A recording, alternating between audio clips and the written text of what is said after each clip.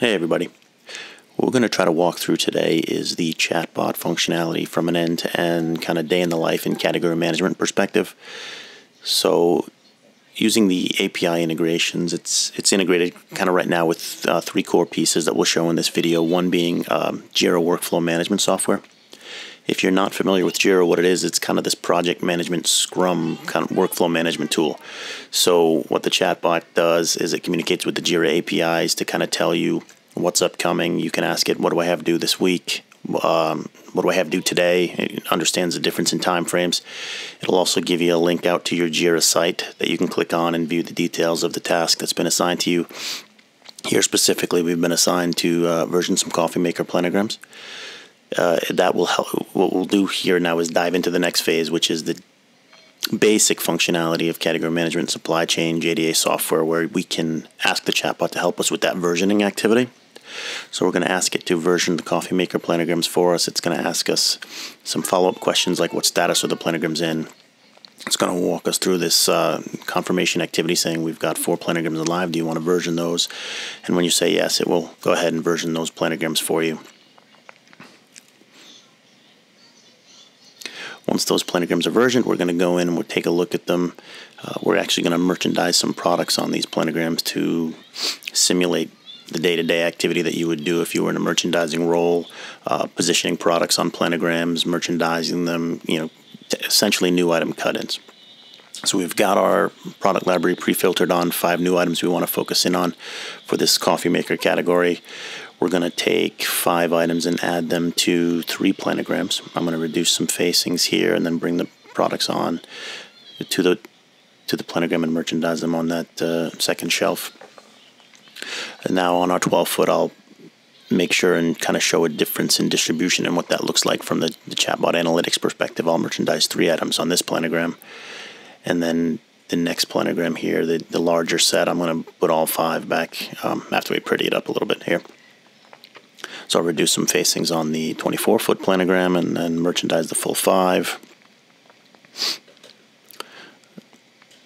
Once we save these to the database now, what's going to happen is, uh, since these are work in progress planograms and that's where we version them to, what this gives us is visibility to an item forecast. So we've got some new items on these planograms now, and our chatbot has this analytical analytics capability uh, to look at those planograms in work in progress and kind of tell us from an overall perspective. You know, I say, hey, can you analyze our coffee maker category? And what it'll do is give us kind of this overview of, you know, you've got uh, X amount of planograms in live, but you now also have X amount of planograms in work in progress. And there's a total of five unique items, five unique new items on there going to impact X amount of new stores.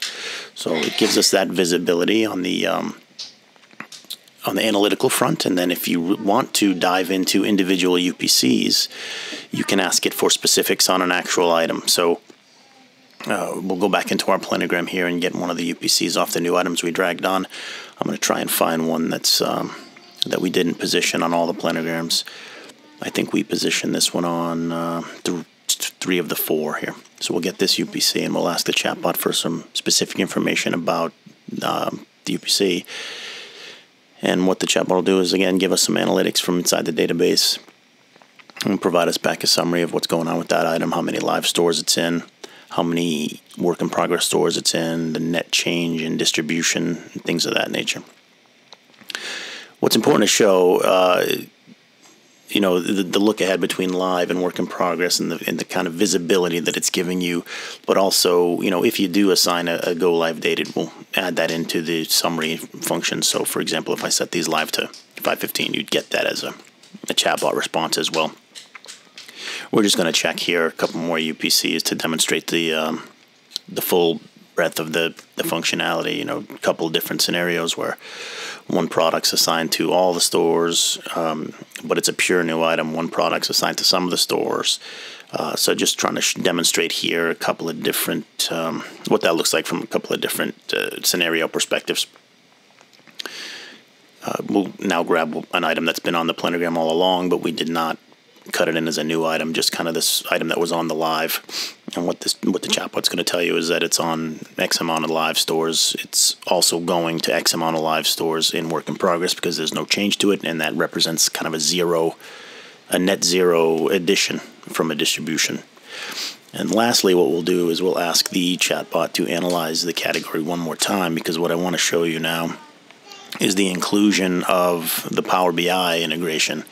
So the chatbot will go out and um, analyze the category one more time for us. And what it provides us down at the bottom here is a link to our Power BI dashboard. And when you click on that link, what it'll do is take you out to your Power BI, and there's a, a, ton of information that you can now get as the Power BI integration takes place. Uh, more information about the planograms if you want, you know, some sales information, anything you can think of that integrates with Power BI. And, and I hope you enjoyed the video.